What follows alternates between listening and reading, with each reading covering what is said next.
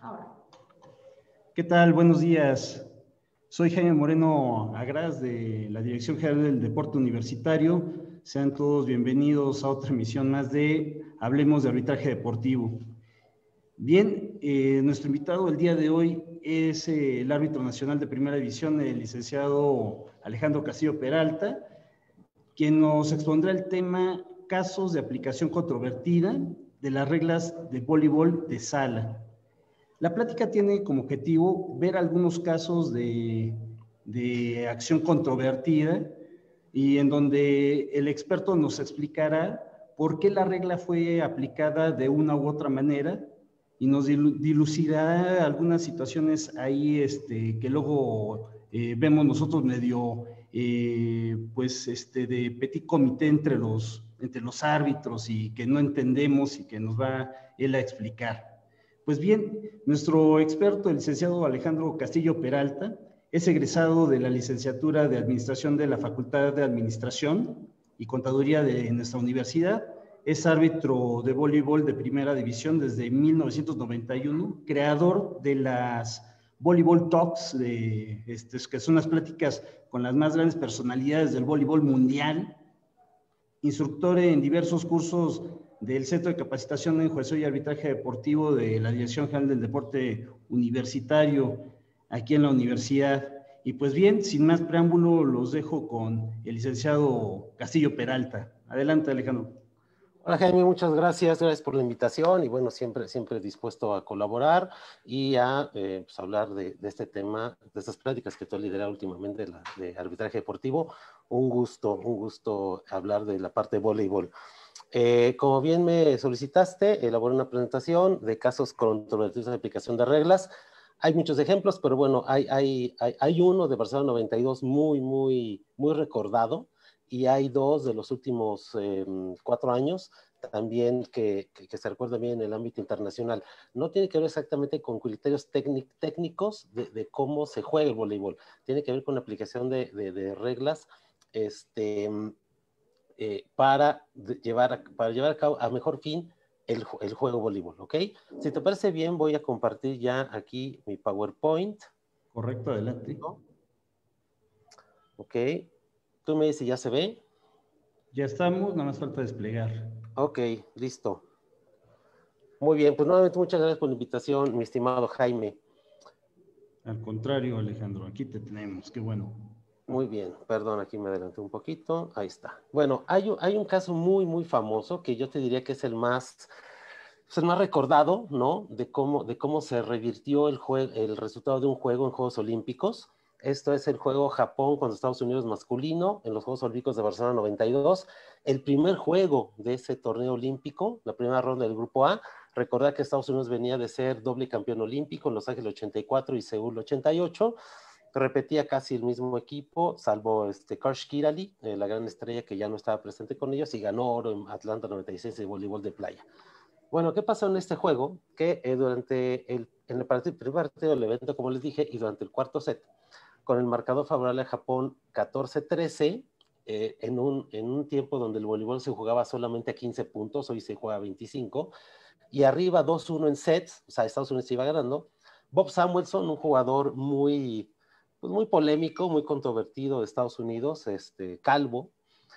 Bob Samuelson de Estados Unidos recibe la segunda tarjeta amarilla en el juego. Había recibido ya una tarjeta amarilla en el segundo set por conducta y estas tarjetas se acumulan en el juego. Entonces, la segunda tarjeta amarilla ameritaba una tarjeta roja para Bob Samuelson. Y aquí el tema es que una tarjeta roja en ese entonces y hoy día también sigue siendo, no es que se le reste un punto a Estados Unidos, sino que se le, se le suma un punto al equipo contrario. Japón tenía el saque y si el árbitro hubiera sacado la tarjeta roja como debía de hacerlo, la victoria era automática 15-13 en el cuarto set para Estados Unidos y, perdón, para Japón y 3-1 en total, ¿ok?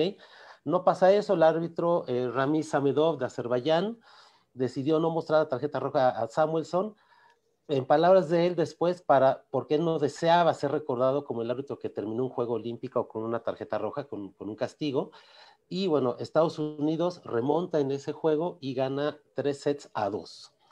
Terminando el juego, la delegación de Japón presenta una protesta formal eh, al, comité de control y al subcomité de arbitraje. En este caso, el comité de control estaba presidido por el mexicano eh, Rubén Acosta, que fue durante mucho tiempo presidente de la Federación Internacional de Voleibol. Y bueno, Japón alega que la segunda tarjeta amarilla Samuelson otorgaba a Japón el punto y la victoria del partido por lo que te decía, ¿no? Se convertían dos amarillas, se convirtió en una roja y era un punto más para Japón. Eh, fue todo un escándalo, ¿no? Pero bueno, el jurado de la FIB delibera durante cinco horas y estaban invitados 26 delegados, los dos delegados de Japón no participaron en la, en la, en la votación y, eh, y, el delegado de Estados Unidos no se presentó. Pero bueno, el jurado decide 23 votos a cero en otorgar la victoria a Japón, ¿no? En el entendido de que, bueno, si, si se hubiera aplicado el reglamento como debería haber sido, pues Japón hubiera ganado. O sea, la, la, la tarjeta, la, segunda tarjeta amarilla era en automático, la roja era en automático el, el, el punto número 15 para Japón. ¿Ok? Y bueno, en protesta a esto, todo el equipo de Estados Unidos se rasura la cabeza en apoyo a Bob Samuelson, ya que padecía calvicie. Entonces, esto es, eh, eh, esto es histórico porque fue la primera vez que pasó algo así, que en Juegos Olímpicos se revirtió un resultado con con el, con el juego ya había terminado. Eh, y, este, y bueno, al final Estados Unidos no ganó eh, su, su triple oro consecutivo, que hubiera sido un gran logro, sino que gana la medalla de bronce, pero sin duda, y a pesar de que este fue el primer partido, sin dudas fue algo que pegó en el ánimo de los americanos.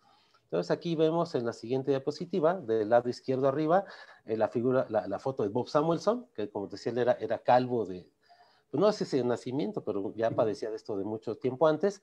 Abajo a la izquierda vemos la nota en el New York Times que dice 12 enojados y entre paréntesis calvos eh, este, hombres o jugadores eh, se, se, se, juntan para, para apoyar al, jugador. Y al lado derecho vemos una foto que es histórica, donde eh, todos, los, todos los miembros del equipo de Estados Unidos se, se raparon, ¿no? Este, para ya para su segundo juego, recordemos que Japón fue el primero, en apoyo a Bob Samuelson. ¿Ok? Entonces, te digo, es algo que pues sí está en la regla el que la tarjeta media se convierta en, una tarjeta roja y un castigo. Al final, la decisión no la toma el árbitro, sino que la toma el comité de control, que es el responsable de que, de, que los juegos lleguen a buen término. Eh, comentar también en este caso que el árbitro azerbaiyano Ramiz Amedov, que pues era, era destacado en ese entonces, te podrás imaginar que después de ese juego Estados Unidos-Japón, fue retirado del evento Juegos Olímpicos y no volvió a arbitrar un juego internacional. Y cuenta, la, cuenta la leyenda, se dice que falleció al, poco tiempo, no más de un año, por la tristeza de que, de ser recordado así y de que pues ya no podía seguir arbitrando al nivel que él arbitraba por esta decepción. ¿Cómo ves? No, pues terrible, ¿no? Pero ¿cómo es que eh, intervienen estas situaciones? que aparentemente en principio pudieran ser este, técnicas en el juego, pero se van hasta el ámbito de la conducta y de la interpretación de la regla. Veo entonces que es muy importante eh, el papel del juez en, su, en, su, la cuestión de la interpretativa, pues, de, del propio juez, ¿no? Pues mira, yo, yo creo que un, poco más allá, este, tú al final, las palabras de Amedó fueron, este, todo parece indicar que él sí sabía que se, que, se acreditaba la roja, porque la, mesa de anotación, en la hoja de anotación, todo eso se registra. Yo estoy casi seguro que el anotador le avisó al primer árbitro que, la segunda amarilla era tarjeta roja, pero en las palabras de Samedov él dijo, yo lo sabía, ¿no? Pero una tarjeta roja era terminar el juego, un juego olímpico, con una tarjeta por castigo, por conducta, no por una acción de juego, y él no quería ser recordado así al final, bueno, este, hoy, hoy día seguimos hablando de esto, 28 años después, pero este, todo indica que fue una decisión del, del, del árbitro, de, él estaba consciente de lo que podía pasar y decide este, solamente sacar la amarilla y no, y no mostrar la roja para no querer ser recordado de esa manera. Sí, caray, eh, pues bastante controvertida la, la situación de, de, este juego. No, no fue, creo que una decisión en principio fácil para, para el juez, pero creo que luego este tipo de situaciones de, de poder equilibrar la, las situaciones de, de, un partido, híjole, tiene sus consecuencias y pues este es el caso, ¿no? Sin duda, y luego imagínate pues en el, en el, en el máximo escenario de la actividad deportiva, que son los Juegos Olímpicos, ahí pasó, esa, fue algo, yo me acuerdo en ese momento, yo ya seguía el voleibol en ese entonces, y bueno, fue algo eh, muy comentado alrededor del mundo, este, las televisoras no sabían bien qué pasaba porque, bueno, no, no, no, no conocen bien los protocolos, pero pues al día siguiente salieron desplegados en, en, en, medios, en periódicos, y en ese entonces fue, fue todo un escándalo. Imagínate, le, eh, le, pasa esto a Estados Unidos, que al final del día pues, es el país donde se inventó el voleibol en 1895, ¿no? Entonces, hasta irónico es este, esta decisión, ¿no? Claro, ¿a quién le fue a revertir la, la decisión en, en, uno de los juegos este, de, los fundadores, ¿no? Así es. Pero al final, este, este, este comité de control y el subcomité de arbitraje son figuras que hoy siguen existiendo en todas las competencias importantes como Juegos Olímpicos, Campeonatos Mundiales, Copas del Mundo, este, eh, Volleyball Nations League, etcétera, sigue existiendo precisamente para atender este tipo de casos, ¿no? Y puede ser algo desde la temperatura, si me da tiempo voy a hablar de un caso de que de temperatura hace cuatro años en Brasil, este, temas de iluminación, temas del sonido, temas de la cancha, temas de los postes, o sea, este, que son cosas que van más allá del árbitro, ¿no? Pero que al final repercuten en la buena y correcta ejecución de, este, de la, del espíritu del juego y del reglamento de juego. Claro. Oye, y la pregunta difícil, ¿y tú qué hubieras hecho? Pues mira, este, de, de, de, desde que yo empecé en esto hace, hace 29 años, siempre se nos ha recomendado a los árbitros no terminar un juego con una acción o con, una decisión que no tiene que ver con lo que pasa en, con los jugadores. ¿Me explico? Este, yo, no, yo nunca he sido un, un partidario de eso. Tú tienes que hacer lo que dice el reglamento y lo que te faculta el reglamento como árbitro. Este, pero bueno, yo digo, con, con, la experiencia que tengo hoy este, y, y, a la distancia viendo este caso, pues sí, o sea, si el, si el, si el jugador ameritaba una segunda amarilla, en automático era la roja, este, y, y bueno, si de todos modos iba a ser eh, recordado por ese juego, por la acción que tomé, pues mejor haberlo hecho por una, por una acción en la cancha y no algo en el escritorio. Eh, pero te digo, eso es lo que yo opino a la distancia. Claro, claro. Eh, con la facilidad que nos, que nos ofrece ya el tiempo y la tecnología ahora. Así es, ¿Sí? así es. Pero bueno, este, nada más como último comentario, hoy día se utiliza ya una hoja electrónica que está conectado al BIS, que está conectado al jurado, el árbitro tiene una tableta enfrente de él, eso no existía en el 92. Ok, pero vamos a ver ahorita un caso que aún y con todo y eso. Así es. Este, hay, hay, un caso, bueno, esto pasó eh, hace dos años en los Juegos Centroamericanos de, y el Caribe en Barranquilla 2018, en una semifinal, Cuba contra Colombia masculino. Este, Cuba gana el encuentro un Z 0, iba ganando, iba arriba. Este, eh, era favorito porque Cuba había ido a Juegos Olímpicos, Colombia está, está, pues está renaciendo el tema de voleibol a nivel internacional, este, aunque era local, ¿no? Este, el gimnasio no había aire acondicionado, había mucha humedad, parece, parecía que eso jugaba a favor del equipo colombiano, pero bueno, Cuba iba, iba ganando un, un Z0. En el segundo set, con el marcador 11-9 a favor de Colombia, en el tercer set, la mesa de anotación cuenta que, que, perdón, en el segundo set, la mesa de anotación se da cuenta que Cuba tiene una formación ilegal. Ojo, pero hasta que van 11-0 en el marcador, arriba Cuba. ¿Ok? Uh -huh. Perdón, arriba Colombia. Entonces tiene una formación ilegal. Que, o sea, estaba el jugador número 4 adentro en lugar del número 5. Recordar que eh, al inicio de cada set el entrenador entrega una, una ficha de posiciones que, que, que, que, sigue siendo en papel. ¿no? Este, aquí en los Juegos Centroamericanos y el Caribe no hay tablet, pues es un sistema un poco más, más avanzado y complejo y más caro, que está, eso está presente en Juegos Olímpicos, Liga Mundial y Copas del Mundo, Juegos Centroamericanos no, entonces ahí es, es una ficha, es una ficha de este tamaño, que pone sus posiciones y la firma el entrenador autorizando que ese es el roster inicial para, para cada set. Bueno, resulta que al final este, se dan cuenta cuando el marcador va 11-9 y el jugador, el jugador 4 había iniciado en la posición 1, o en el saque, y hasta ahí que hizo la rotación completa de 6 y va otra vez al saque, entonces ahí se da cuenta la mesa de anotación que ese jugador no debe estar adentro, que debe estar el 5. Entonces, bueno, se marca la falta de rotación y se le otorga a Colombia el punto, ¿no? Por este, por este cambio, o sea, ellos van a sacar. Entonces, Cuba pierde todos sus puntos de ese set porque los había hecho de forma irregular, que esto es, un, es algo que el reglamento lo marca claramente. Si en el momento en que los árbitros se den cuenta que, que un equipo estaba, tenía falta de rotación, este, se le eliminan todos los puntos porque fueron hechos de manera ilegal, ¿no? Irregular. Entonces, el marcador ahora, en vez de ser 11-9 o 12-9, es 12-0 a favor de Colombia. Entonces tú imagínate el momentum, ¿no? Es una semifinal en Colombia jugando contra el local, donde las condiciones climáticas este, no son las mejores o las ideales. Este, son cosas que suman, yo creo que sumaron en contra del equipo de Cuba. Entonces, bueno, si bien hubo varias omisiones, tanto en la mesa de anotación, del comité de control, que es el jurado, del subcomité de arbitraje y del Volleyball Information System o VIS, porque al final todos ellos pues tiene que corroborar que, los seis jugadores que están en la ficha son los que están en la cancha, ¿no? hubo, hubo omisiones de, varios, de, varias, de, varios jugadores, de varias partes.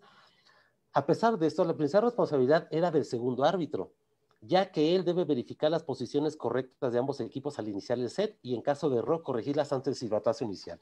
Lo que hace el segundo árbitro para los dos equipos antes de iniciar a que se juegue el set es con la ficha posiciones en la mano, verifica que el jugador, el que está escrito ahí, esté ocupando la posición correctamente en la cancha. No recuerde que el voleibol son seis posiciones. Yo he visto el video eh, varias veces y lo que parece es que el, como este jugador 4 o el 5, Javier Jiménez o Javier Concepción, son centrales y Cuba tenía la recepción, no sacaba, entonces en ese momento, antes de que Colombia haga el primer saque, entre el líbero, que es esta posición relativamente nueva, ya tiene 20 años, pero bueno, relativamente nuevo, entra el líbero Yonder García, el número 11, a sustituir al, a este número 4. Entonces, creo que por eso es eh, por lo que el árbitro eh, no se da, no, no, está completamente seguro, no se da cuenta o, o, comete el error de no verificar que era el 4, que, debe, que el, el, eh, tenía que estar dentro del 5, pero estaba el 4. Como hacen el cambio por el 11, permitido, el libero puede entrar y salir en cualquier momento, me parece que ahí es donde puede haber la confusión. Y bueno, al final Colombia remonta y gana el encuentro 3 sets a 2 y accede al juego por la medalla de oro, dejando a Cuba por la medalla de bronce. Y aquí vemos, son algunas imágenes, aquí, aquí es eh, hasta la izquierda vemos al segundo árbitro, que es mexicano, se llama Luis Macías. El de rojo está Nicolás Vives, el entrenador de la selección de Cuba. Eh, sentados vemos a los anotadores, ¿no? a toda la mesa anotación, que son quienes avisaron al segundo árbitro que los cubanos estaban fuera de posición. Después de Nicolás Vives, el de rojo, este, vemos de frente a, a, Denis Céspedes, árbitro olímpico de Dominicana. Después, el, eh, la persona que trae la ficha de posiciones en la mano es Cristóbal Marte, el presidente de la Norseca y presidente el presidente del jurado. Después de lentes está Roy Vélez, que es del Comité de Arbitraje de Puerto Rico. Y hasta, hasta el lado derecho es eh, Félix Sabio, de Honduras, que también era parte del Comité de Control. Entonces, bueno, este, aquí lo que, lo que Nicolás Vives, el entrenador, va y dice, oigan, ¿qué fue lo que pasó? Explíquenme, ¿no? O sea, porque aparte que te marcaron falta, pues te van a quitar los nueve puntos que traías, ¿no? Vemos aquí el marcador que iba 11-9 a favor de Colombia. Y bueno, este, aquí vemos la confusión, ¿no? Este, es lo que está explicando Nicolás Vives en la extrema derecha a eh, Javier Jiménez y a Javier Concepción, cuál es el, tema, ¿no? Que, que, que, se habían equivocado. Debía haber estado adentro el 5 desde que iban 0-0, pero hasta que iban 11-9 estuvo jugando el número 4 Javier Jiménez. Y la siguiente imagen, pues aquí ya cuando se reanuda el juego, y el marcador ahora es 12-0 a favor de Colombia, ¿no? Entonces, eh, iban 11-9, hace falta el equipo de Cuba y este y, y ahora va 12-0, se le quitan los 9 puntos a Cuba, ¿ok? Ok. ¿Cómo ves hasta ahí? También polémico, ¿no? Sí, hombre, y además en, este, en la situación en la que se encontraban en esta competencia, ya en, las parte, en la parte final, ¿no? Así es, ya en la etapa. Se complica el tomar ciertas decisiones, por lo que he escuchado también en el caso de ciertos árbitros en el fútbol asociación que luego se encuentran en una incertidumbre si marcar o no la, este, la expulsación, ¿no? en, cierto grado de en que se encuentra el encuentro y además la competencia. Pues aquí también me, me, este, me percato de esta situación tan complicada. ¿Y aquí qué pasa con el, con el segundo árbitro? Este, ¿Se le sigue algún tipo de procedimiento para sancionarlo o, qué pasó en ese entonces? La verdad no sé, este, digo, Luis Macías es un árbitro que, que, sigue, que sigue arbitrando, está programado para ir a Juegos Olímpicos el año que entra en Tokio. Em, insisto, sí fue, fue, una, fue, una, fue una, un error de él, principal, creo yo principalmente de él, pero eh, pues, el, el, jurado pudo haber interrumpido el partido en el cero, antes de empezar a decir, a ver, no está correcta las posiciones. El BIS, el BIS es un sistema donde se va capturando las jugadas de cada jugador, ¿no? Los aciertos, los errores. Entonces, ellos, eh, no sé, Javier Concepción es 5, y Javier Jiménez será el 4. Entonces, bueno, si el número 5 este, hace un bloqueo, en el BIS no debería haber aparecido el número 5 porque la ficha decía el número 4. Entonces ahí pueden haber, están mal las posiciones. Este, el comité de control lo mismo, porque ellos reciben una copia exacta de la ficha de posiciones que va a la mesa de anotación, la recibe el jurado. Entonces te digo, al final, este, hubo varias personas que pudieron haberse dado cuenta, ¿no? Pero pero de todos modos, la, la, responsabilidad principal era el segundo árbitro, que así como están ahorita se ve en la pantalla, tiene que ir el primer árbitro a, corroborar las posiciones de los equipos a la izquierda y después de los equipos a la derecha. Y hasta que está seguro de que ya están dentro los, los adecuados, da la señal al primer árbitro de iniciar. Si ahí, en eso, antes de iniciar el segundo set, se da cuenta el, segundo árbitro que, que está dentro el 5 y no el 4, lo que se le hace es pedirle que por favor hagan la sustitución inmediatamente sin ninguna consecuencia. Si el entrenador de Cuba decide mantener adentro al 4 en vez del 5, entonces hace una sustitución normal o regular, una de las seis que tiene derecho el equipo, le quedarían otras cinco para el set y ya, ¿no? Eso es lo que, lo que pudo haber pasado, cualquiera de esos dos escenarios. Pero al final, que yo sepa, pues, no hubo alguna, alguna sanción o amonestación para el árbitro mexicano, entiendo que no, él ha seguido arbitrando y va a ir a Tokio el año que entra. Perfecto. Entonces aquí el sistema de alguna manera, eh, ¿por qué se habrá vulnerado eh, el BIS? No lo sé, no lo sé, es una buena pregunta, eh, no lo sé al día de hoy.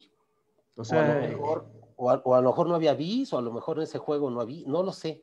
O sea, es, es esas preguntas raras, es como la dimensión desconocida, dices, ¿qué pasó? O sea, ¿por qué esto que pasa en un juego local, este, se puede medio entender, pero en, un, en un, una competencia así, ¿no? Regional, una competencia donde hay un, un, comité de control y un subcomité de arbitraje bastante robusto, este, ¿no? Pero bueno, puede pasar, ¿no?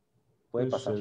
Y aquí, eh, este, en el caso del, del equipo de Colombia, no hizo la reclamación, no se había tampoco percatado de esa situación. Tampoco se habían percatado, lo cual también está raro porque hoy día cada, cada, cada equipo, e, e incluso ya a este nivel de centroamericanos, tiene un scout. Un scout es, un entrenador ya sea en la banca, aquí vemos el lado derecho, en la banca de Colombia, vemos una persona de, Playa María que trae una computadora. A veces está el scout en la banca o a veces está en las alturas, en las gradas. Entonces ellos van, eh, van, van a hacer un análisis del rendimiento en eficacia tanto de su equipo como del equipo contrario, ¿no? Entonces, em, eh, pues ellos también tenían que haberse dado cuenta, decir, oye, ¿cómo es que está haciendo puntos el número 5 de Cuba? si ese no está registrado aquí inicialmente, debería ser el 4. Entonces te digo, este, fallaron muchas cosas, no fue solamente el segundo árbitro, fallaron muchos componentes del juego. Muy, muy raro, muy raro que pase. Sí, como lo dices, ¿no? La dimensión desconocida ahí se dio en ese momento porque se, se vieron inmersas todas estas situaciones al mismo tiempo, en el mismo momento, en el mismo lugar. Y luego jugando Colombia de local, imagínate, yo recuerdo, aquí no se ven la, en las imágenes, pero el delegado de Cuba, este, Ariel Sanz, bajó hecho una, un demonio, ¿no? Te podrás imaginar una fiera, o sea, ¿cómo es posible? Y este, y, o sea, e, e, era, increíble eh, que, de entender cómo pasó eso, pero no pasó, fue hace dos años, el video está en YouTube, si, si alguien le interesa, pues les mandamos la liga para que vean todo el juego. Eh, pero bueno, así fue. Entonces te digo, es otro caso controvertido aplicación de reglas, ¿no? Muy interesante. Y bueno, este, hay, hay, hay otro más. Este, este fue Tailandia contra Japón en el femenino. Este eh, también se conjuga en varias cosas. Es un torneo de clasificación olímpica para Río 2016, jugando Tailandia contra Japón en Tokio, en Japón. Este, Japón, que es un país eh, donde el voleibol es, eh, es, es, muy popular, donde el Japón pues, le invierte mucho dinero al voleibol, por eso es que cada cuatro años ellos una sede permanente de la Copa del Mundo, etcétera. Y este juego literal, quien ganaba pasaba y quien perdía se quedaba fuera, ¿no? Cosa curiosa, este, solamente por comentarlo, el árbitro de este juego era el mismo que acabamos de ver en Barranquilla, el mexicano Macías. Entonces, bueno, en el quinto y decisivo set, acuérdate que el quinto set se juega solo a 15 puntos, igual con este tema de Rolling Store, todos los puntos cuentan. Es a 15 puntos, no a 25 como del, del primero al cuarto, y al, cuando, se, cuando algún equipo llega a 8 puntos, hay que hacer cambio de cancha para que sean condiciones iguales para los dos equipos en el mismo set, ¿ok? Entonces, en el quinto y decisivo set, Tailandia lidera el marcador 8-3. O sea, ya aún prácticamente en cualquier nivel, pero más en, este nivel de federación olímpica, pues el ir arriba 8-3 te da, tienes, estás más cerca de la victoria que de la derrota. ¿okay? O sea, te faltan 7 puntos para ganar, al otro equipo le faltaban 12. Entonces, bueno, lidera el marcador 8-3 Tailandia y los equipos hacen cambio de campo. Con el marcador 12-8 a favor, todavía iba arriba Tailandia 4 puntos. El entrenador de Tailandia es amonestado por demora. ¿No? Una tarjeta amarilla. Ya que, y, bueno, esta, eh, el entrenador de Tailandia comete la demora, pero una amonestación por demora es para todo el equipo, ¿no? Suma para todo el equipo, no es, una, no es un tema personal, sino es una demora, sí, al entrenador de Tailandia que, que hizo tiempo, pero es para todo el equipo. ¿Y por qué fue esta demora? Porque él solicita un video challenge, ¿no? Así como el bar en el soccer, pues en, el voleibol hay video challenge. Y como era que la selección olímpica, aquí pues sí había tablets, había video challenge, había todos los elementos. Pero la tablet no funciona, ¿no? Entonces, este, tiene la tablet, le, aprieta el botón de video challenge, pero no, no, sirve, ¿no? De repente se cayó el sistema, ¿no? En Japón, jugando, perdiendo Japón cuatro puntos. Entonces, no jala. Y entonces, este se le niega a solicitar la, señal con la señal, la, perdón, el, eh, el video challenge con la señal manual y pide tiempo fuera. ¿Ok? Y se lo otorgan. Al regresar el tiempo fuera y al protestar airadamente que las tablets no funcionan al historial del video challenge, es castigado por conducta. Ya tenía una tarjeta amarilla de conducta en un set anterior y aquí viene la segunda amarilla que es una tarjeta roja, ¿no? Acuérdate lo que platicamos en el primer caso. Lo cual significa un punto adicional para Japón, que se acerca a 12-9.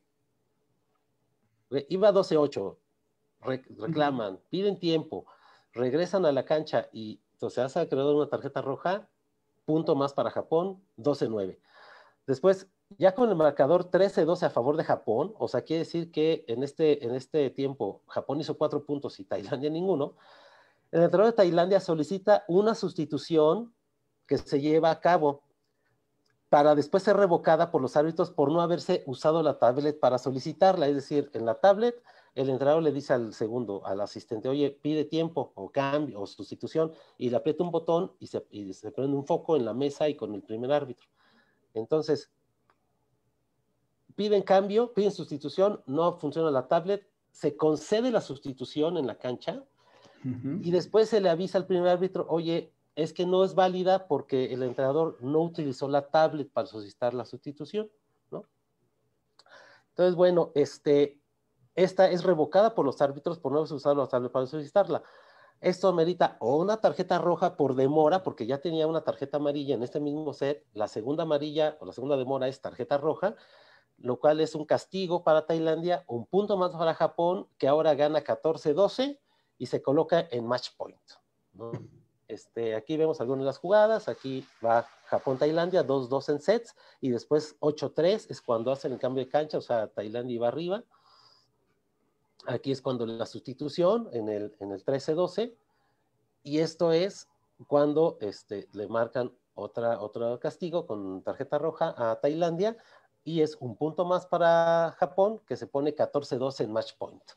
Este, entonces, esto igual, ¿no? Pues es, otra decisión controvertida que pasa adentro. Lo que a mí me llama la atención, porque yo estaba viendo ese juego, me acuerdo perfecto, es que eh, se autoriza la sustitución, aunque ¿no? se, hace el, se hace el cambio, y después se revoca argumentando que no se utilizó la tablet para solicitarlo. Entonces, lo que yo creo es que, bueno, o sea, se, me hace, se me hace difícil de entender que en un país como Japón falle la tecnología, pero bueno, si falló, pues debería permitirse hacer, las, las solicitudes de sustitución y de tiempo como normalmente se hace, ¿no? Entonces se hace la sustitución y después se revoca porque no fue hecha con la tablet y se le castiga con demora al, al, al, equipo, ¿no? Este, eso fue lo que pasó. Hay muchas teorías al respecto que siguen siendo esas teorías, ¿no? Este, pero bueno, en Japón, este, eh, si ganaba Tailandia, iba a Tailandia y si Japón perdía, no iba. Al final ganó Japón el juego, Japón fue olímpicos y Tailandia no, que fue pues para, o sea, Tailandia nunca había estado tan cerca de acceder a los Juegos Olímpicos como estuvo en ese juego. ¿Cómo ves? Híjole, qué controvertido y qué complicada por la situación. Aquí pareciera haber cierta suspicacia en, eh, en la aplicación de, de, la, de la, regla este, en este encuentro en particular. Aquí la, la pregunta es si, la, si la regla está escrita y está permitiéndose que se haga de manera manual, ¿por qué no se le permitió, no? Es, es una gran pregunta. Eh, al día de hoy, este, debe haber quien sepa la respuesta, yo no la sé pero este, o sea, argumentar que no se le autoriza una sustitución porque la tablet no funciona, bueno, pues no funciona y ya, ¿no? Este, eh, eliminemos la tablet, o sea, a fin de cuentas el voleibol, eh, no estamos tablet para jugar voleibol, ¿no? Este, pero así fue, esa fue la decisión en ese entonces. Eh, por supuesto que el equipo japonés y la afición estaban muy contentos. Te podrás imaginar la decepción del, equipo y de la afición tailandesa, ¿no? Estaba, estaban muy, muy frustrados. Sí, oye, ¿y esto no se, no se prestó a que hubiera protestas eh, por parte de, de Tailandia? No, no, no, no tengo la certeza, yo imagino que sí, pero este, pues, al final... Eh, no procedía. No procedió, eh, eh, Tailandia se quedó fuera de Río y Japón fue a Juegos Olímpicos. Caray, oye, pero además es que sí, la suspicacia salta demasiado, ¿no? Porque estamos en Japón, bueno, están en casa los japoneses. La, se supone que ellos son los que están encargados de las cuestiones técnicas, me refiero a lo tecnológico, respecto de lo que va a presentarse en ese encuentro y resulta que a la mera hora no funciona y luego como lo bien lo dices, ¿no? En Japón, ¿no? Como una cuestión tecnológica no fue que funcionara y que además ahí este, no, no le permitieran, eh, eh, digamos, el alegato al, al, este, al entrenador de Tailandia, híjole, la verdad muy, muy, muy, muy complicada, muy complicada la situación y además que no se le permitiera y, que está en el reglamento el uso manual de, este, de la sustitución y de, y de las solicitudes que, que, él hizo, ¿no? Así es, así es, pero bueno, ese, ese, tipo de cosas pasan. Este, no sé si haya preguntas, eh, mi estimado Jaime. Sí, mira, para empezar, este, saludos de la Liga Distrital de Voleibol de Chiclayo, allá mis amigos de Perú. De Perú, exactamente. Te mandan saludos. Muchas gracias. Eh, um, pues a ver, aquí tenemos algunas. En tu experiencia, ¿cuál es el tipo de casos controvertidos que se dan con mayor frecuencia? Este, mira, eh, el reglamento de voleibol, este, es importante que aclarar. A mí me llama la atención que en algunos eventos dice, eventos en México, ¿no? Dice, reglamento se utilizará el publicado por la Federación Mexicana de Voleibol. La Federación Mexicana de Voleibol no publica ni, ni emite documentos, este, eh, reglamentos, los emite la Federación Internacional de Voleibol que está en Suiza, ¿ok? Entonces, eso es, el reglamento de voleibol está hecho para condiciones ideales, ¿no? Para donde para, para, donde todo funciona, donde están los mejores postes, la mejor red, el mejor piso, etcétera, ¿ok?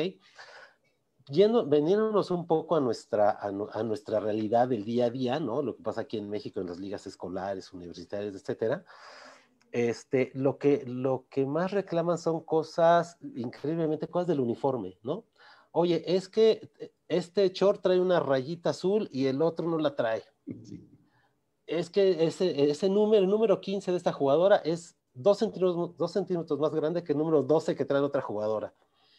Eh, ¿No? Este, y bueno, pues este, tú bien lo sabes, los, los, presupuestos son limitados y pues de repente no puedes hacer este, tres o cuatro uniformes al año, ¿no? O cinco. Hay jugadores que se van y unos entregan el uniforme, otros no. Este, Entonces esas cosas pasan pero este, o, luego las calcetas, o aparte te dicen, aparte, luego te dicen de los tenis, o luego te dicen es que esa jugadora traía, o, los jugadores hoy usan, por ejemplo, mucho mallas de compresión, ¿no? Que son estos, estas mallas que van abajo del short. Y hay, hay, hay equipos aquí que, que te reclaman, eh, y yo les digo, oigan, en Juegos Olímpicos hay dos americanos que juegan con mallas de compresión. Entonces, si en Juegos Olímpicos se puede, pues ¿por qué nos vamos a poner muy exquisitos en nuestras ligas locales? O los, o los lentes eh, para, para antirreflejo, ¿no? Que son oscuros. Las dos centrales de Estados Unidos en Río 2016 usan de ese tipo de lentes oscuros y de repente acá nos queremos poner muy exquisitos con que hoy es que no se puede hacer reglamento. Muy estrictos, no, ¿no? Exacto, muy estrictos. Pero lo más chistoso es que todo eso te lo reclama al final del juego el equipo que perdió. Sí. ¿No? O sea, antes no, antes y hasta todos son cuates y se, se saludan entrenador con entrenador, pero de repente eh, eh, el 95% de estas cosas se reclaman una vez que terminó el juego. ¿no? Y es importante aquí decir una cosa, una vez que el, el, el, el capitán firma al final la hoja del encuentro, dando su aprobación, ya no se puede hacer nada. O sea, y después viene el entrenador, oye, es que mientras, mi capitana no sabía, mi capitán, y quiero meter una protesta. Pues no se puede porque ya, ya aprobó. O después eh, algún, algún entrenador quiere reclamar temas de la cédula, temas del uniforme, temas de las calcetas. Este, y eh, todo eso te lo tiene que decir en el momento. Por ejemplo, el caso que vimos hace rato de Cuba-Colombia, tiene que ser la solicitud de hacer una protesta al respecto en el segundo set, cuando va el marcador 12-9. No se puede hacer al final, ¿no? Entonces ahí el capitán se acerca con el, árbitro y le dice, oye, quiero reservar mi derecho de hacer una protesta al final del juego por esto. Ah, perfecto. Lo que, no se, lo que no se puede permitir, y así lo dice el reglamento, es que al finalizar el juego, ya que se despidieron los equipos, quiera venir o el capitán o el entrenador a reclamar algo. Y también recordar que eh, la única persona que puede escribir algo en la hoja o hacer un reporte es el capitán. Le puede dictar el entrenador, pero el entrenador no puede escribir nada. Y quien firma es el capitán, porque el capitán es quien representa al equipo en el juego, no el entrenador. Y ya sea de niños de 8 años o sea de jugadores de Juegos Olímpicos. El procedimiento es el mismo. Ok. Oye, pero aquí entonces estoy viendo que la, importancia que tiene del conocimiento de la regla, no solamente del juez o árbitro, sino también del entrenador y de los integrantes del equipo, porque luego se hacen reclamaciones sin sentido, entonces. Así es, así es. Y, se, y se vuelven luego controvertidas por, pero por desconocimiento. Y entonces de ahí vienen pues algunos comentarios de, claro, el árbitro este, la trae en contra nuestra y el árbitro no sabe y el árbitro la trae contra nosotros. No, es que el, el reglamento que dice, ¿no? Por ejemplo, el tema de, o sea, en esta teoría, por ejemplo, los postes con, con llanta, pues no debería poderse jugar así. El reglamento estipula que no se puede. Eh, te ajustas a tu realidad y bueno, hay, hay prepas donde hay postes con llanta, pues así es, porque Si no, no se juega. Y no se puede, ¿no? Entonces, ¿qué, hace el árbitro? No, no se juega porque el reglamento dice, tratas de ajustarte. Pero este tema de procedimientos como las protestas o como en qué momento solicitarlas, pues eso no tiene nada que ver y eso, eso, eso no cambia, ¿no? No, y además este, la cuestión de no ser más papistas que el Papa, ¿no? Hay que flexibilizarse en algunas situaciones, tener el criterio para poder llevar a cabo el evento en los mejores términos. Y fíjate que se me estaba ahorita viniendo a la mente la cuestión de, de las juntas previas, ¿no? Cuando hablan con el árbitro y que a lo mejor en alguna situación, así ahorita por el caso este de Japón-Tailandia, que hubo alguna situación en la cual en una junta previa se estableció la cuestión técnica de que las solicitudes tenían que ser exclusivamente por la tablet y no por otro medio y a lo mejor pudiera haber sido eso, digo, es especular, ¿no? Porque como tú lo dices, no, se sabe. pero yo creo que sí debe existir este, un protocolo para, oye, ¿qué pasa si la tablet no funciona? Exactamente. ¿A poco los equipos ya no pueden solicitar tiempos fuera ni sustituciones porque la tablet no funciona? Me parece, me parece que no, pero... Lo que, lo que decíamos, ¿no? O sea, no ser más papistas que el Papa, ¿no? Hay que, hay que flexibilizar el criterio para poder llevar a cabo el evento en los mejores términos y en equidad, ¿no? Para los, dos, los dos encuentros. Oye, tengo otra pregunta para ti. Dime. Este, ¿Recuerdas algún caso controvertido en el que se haya visto involucrada la selección mexicana de voleibol? Este, déjame recordar, déjame recordar. O sea, sí de este tipo, em, no, no, recuerdo, no recuerdo. Em, no, pasó, pasó algo muy, muy curioso en la, en la, en la última, hace cuatro años en la clasificación olímpica que fue aquí en México, cuando el equipo varonil clasificó a Río 2016, un gran, gran logro. Ahí pasó algo muy, no tiene que ver con esto, pero, pero, o sea, al final curioso. ajá, y al final sí, porque tiene que ver con, con la suma de puntos y la suma de sets, ¿no? Este, en el tercer juego, ya para que definiera la clasificación, México jugaba contra Túnez, ¿ok? Entonces, si ganas, en, si ganas 3-0 te da ciertos puntos y si ganas 3-2 te da menos puntos porque fue, fue mayor el esfuerzo si ganas 3-0, ¿no? Pero bueno, para este juego de, de, de, México-Túnez, eh, México, los que estábamos inmersos en el evento sabíamos que México ganando dos sets estaba dentro de Juegos Olímpicos. No importaba si Chile ganaba el encuentro, pero México tenía que ganar al menos dos sets. Entonces, eh, eh, México, después del, después del, tercer set, o sea, gana el tercer set, y entonces muchos de los que sí sabíamos cómo estaba el rollo, festejamos y los jugadores festejaron la cancha y la gente no, y la, la, televisión decía, pero ¿por qué si no han ganado el juego? Al final terminó México perdiendo el encuentro 3-2 y bueno, fue un gran festejo al final, pero este, fue curioso eso porque aplicando el reglamento, las reglas de la puntuación de, juegos ganados y perdidos, México ya estaba dentro, pero este, quienes no estaban inmersos en ese tema no lo sabían. Y mucha gente dijo, oye, ¿por qué México está festejando si iban perdiendo el juego? Y perdieron el juego al final, sí, pero ganando dos sets estaban dentro. Claro. Oye, y en tu concepto, ¿qué es lo que puede causar este tipo de situaciones controvertidas en la disciplina de voleibol? Eh, ¿Te refieres a que a los casos que acabamos de ver o Sí, los diferentes casos que tú hayas este, visto. ¿Por qué crees que se haya dado ese tipo de situaciones? ¿Qué es lo que, ¿Cuáles serían los factores que contribuyen a esto? Pues mira, en el caso del, del Japón-Estados Unidos en Barcelona, este, esta idea del árbitro de que, de que no quiere ser recordado como un árbitro que terminó un juego olímpico con un, no con una acción de juego, sino con un, sino con un, con un castigo con tarjeta, con un castigo por conducta, ¿no? y al final me parece que terminó siendo peor, ¿no?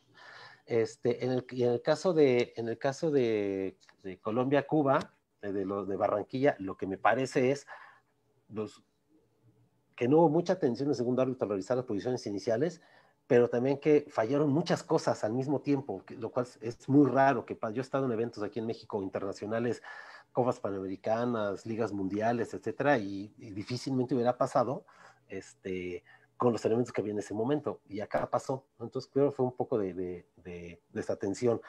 Y en el tema de, mm, del Japón-Tailandia, me parece que, insisto, se me hace raro pensar que en, que en Japón falle la tecnología, precisamente en Japón, este, pero al, no sé, me parece que también por lo que se ve en el video, porque lo he visto muchas veces, pues no, no quedó claro en la junta previa qué íbamos a hacer cuando no funcionara la tablet.